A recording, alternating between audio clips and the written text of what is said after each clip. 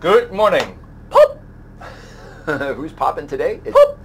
it's Vincent Wong from HKSOW. And Andrew Work, Editor-in-Chief, Harbour Times. Yes. All right. Pop. Why are we popping? POP is for Ah. progress on population, Yeah. Policy. Yeah. Yeah. Okay, so, uh, the- the so the political Mary Poppins, Yeah. is she going to the Legislative Council Yes, to, to talk She's to the councillors, Flying an umbrella. to talk to the penguins? Flying her not yellow umbrella. Yeah. And uh, yeah. Well, we're talking about Carrie Lam in case you didn't know who, who I'm talking about. Yeah. So they. The Mary Poppins of population policy. Population policy progress update uh, coming today. Expected to hear that Hong Kong is getting older faster, which we already knew.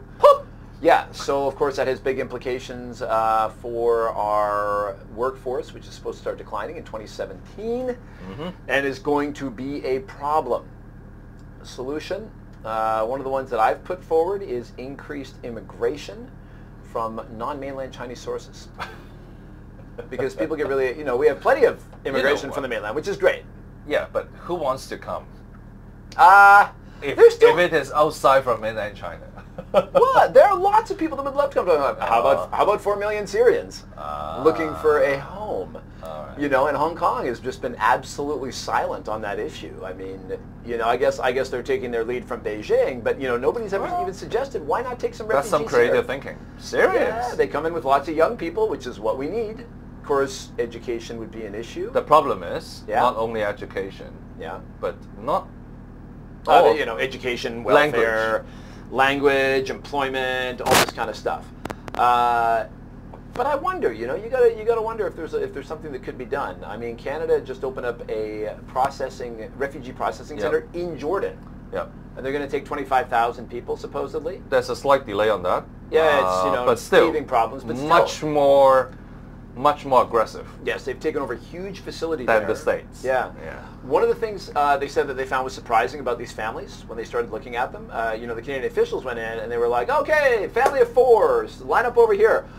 Holy smokes, it's families of eight and nine, you know, and that they didn't expect. Uh, so I don't know how we would deal with something like that in Hong Kong, but I mean, Hong Kong just, you know, doesn't seem to have this capacity to Yeah. bring in immigrants from anywhere but China. You know, like the Vietnamese boat people, we stuck them in camps, and where's where's my big Vietnamese community Well, in with, Hong Kong? with the current chief executive, threw them all out. with the current chief executive. Ain't gonna happen. Yeah. And speaking of China and Canada, Yeah.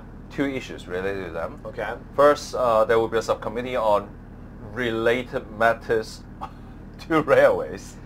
Yes. Yeah, that's another thing to look out for on Let's today. Uh, Basically, switching tracks, Yeah. so to speak. Uh, Let's Go on railways, and we'll get an update on from the MTR on how all the different projects are doing. yeah, and that's related to China.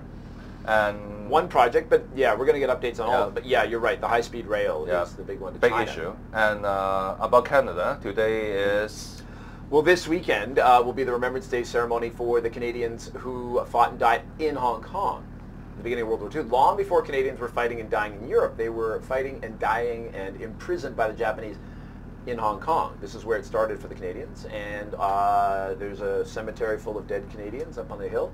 Uh, and there'll be a big ceremony up there with the Canadian community come out, as they do on the first Sunday of every December.